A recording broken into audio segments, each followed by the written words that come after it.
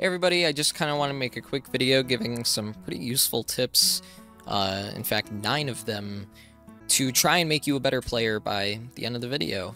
If you enjoy the content, please like and subscribe. If we've been growing like crazy and it really does help a lot, so please do. Thank you. Alright, so for number one, we have don't skip lives. And I mean that. Until you reach second sacrifice life 10,000, I don't suggest skipping a single life. The reason for that is you need the items. You'd be surprised at how many players life 20,000, 30,000, sometimes even 40,000 lives into the game still need items from rebirthing. I can't stress this enough, Superstitious can take a lot of items if you don't know what you're doing with recipes. Enchanted items take a lot of items to begin with, until you hit life 10,000 after hitting second sacrifice. Don't skip a single life. So number two, we have salvaging. Since I suggested don't skip lives, well, how are you supposed to get shards? How are you going to get platforms? How are you going to get enchanteds? Get rid of your useless reborns. If it doesn't have a fusion or an evolution, it's considered useless. Keep enough of them, like 5, 10, 15, so that you could craft superstitious items if you need that specific item, whatever. Do that. Keep some of them.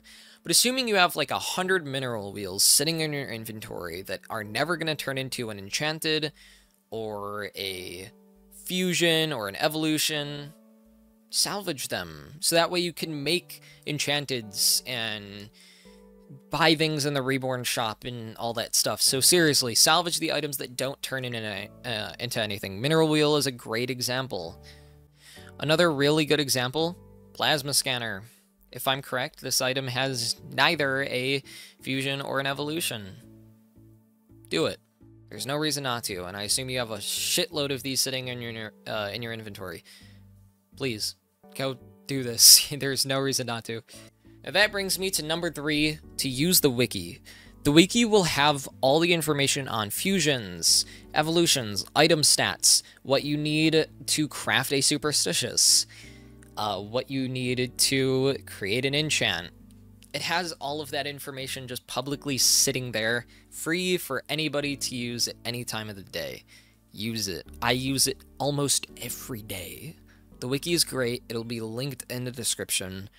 Please, if you're looking for stats in an item because it's RNG based and you don't know it, or if you want to know how many drops your mine makes in a second, and you want to know the ore value because it seems random, Go to the wiki. Stop wasting your time. Now, speaking of learning, why don't we talk about YouTube? So number four, analyze, don't copy. What I mean by this is when you see a new setup video from your favorite YouTuber, which is definitely not me, or if someone's teaching you a setup in person, actually try to figure out what it is that's going on rather than just kind of watching and copy pasting it. It's a lot worse to do that than you think. You actually want to analyze what they're doing. Sit down and learn what it is you're seeing so that by the end of it, maybe when you need to upgrade your setup again, you could do that efficiently. You could use what was used last time to make a better setup. Take the good parts of it, leave all the okay or bad parts of it out, and create something a lot better. And even later on, when you're making another setup, you could take what you've learned over the past few setups and make a really good setup. So seriously, the meta's always changing. Analyze, don't copy, actually try to sit down and learn what it is people are doing. Seriously, this is like making setups is easy. It's not very difficult. The only time it's hard to make a setup is if you're trying to do something that hasn't been done before, but that's not usually the case. Hey, a little bit of a plug here. Uh, this brings me to number five, which is if you're in the need for UC or a Game Pass for the game or something like that, then you could join the official Miners Haven Discord, which is on screen right now and in the description, and participate in my community events where I literally give out free UC uh, and other prizes related to Miners Haven. Sometimes even not. Sometimes we give out Discord Nitro and Robux, whatever. And you could even win a custom cool role in Discord for winning. So if you're interested, go join there. Uh, there's no requirement. There's no uh, restrictions, you can just join and have fun. This brings me to number 6. save your boxes.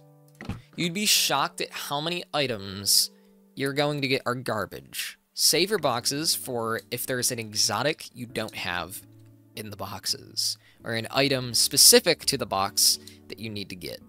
For instance, relic items like Contraland, open your red bandits until you get it. If it's an item like a premium item, you could probably get that just through the UC shop, honestly. You, you don't need to, to open boxes for them. When you're grinding for an item out of boxes, you're going to get them anyways. Don't make it your priority.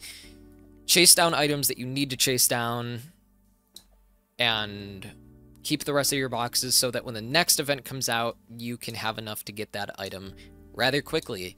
That's why whenever a new box exotic goes live, that I get it the same day because I have so many boxes saved up to where it doesn't really matter.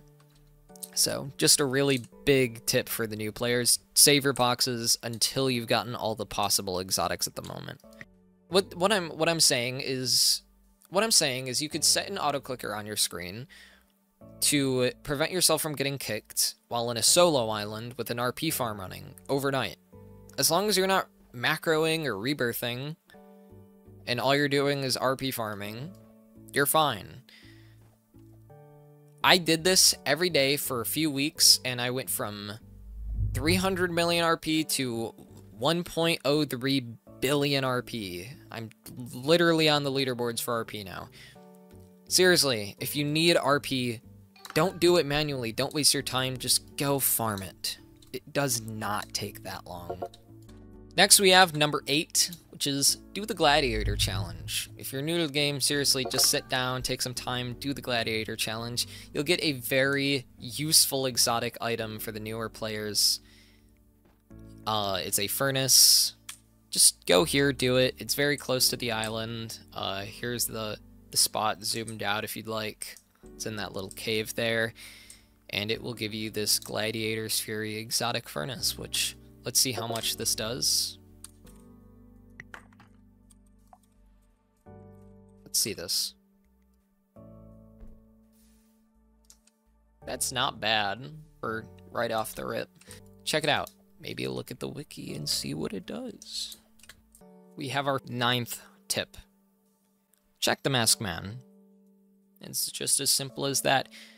He usually arrives, if I'm correct, late night Thursdays, from CST uh, is there all day Friday, Saturday, and Sunday. Or no, sorry, he leaves Sunday night. His inventory refreshes every day uh, at daily reset, which for me is 7 p.m. CST. I very much recommend checking him every day that he's there, and every time his uh, thing changes, there's not really a reason not to. There's always good items there pretty consistently, and sometimes he even sells exotics that are never going to be obtainable again, so... Hey, little uh, editor's note, there is one other tip that I completely forgot to say, is to go to Fargield every day. He's right here on the bridge uh, that I'm going to go to. He literally gives you free boxes and free UC, and all that fun stuff. And if you're done with that, go to the box guy. He also he also gives you a free box every day for nothing. Just go do it. There's no reason not to. Thanks. Sorry.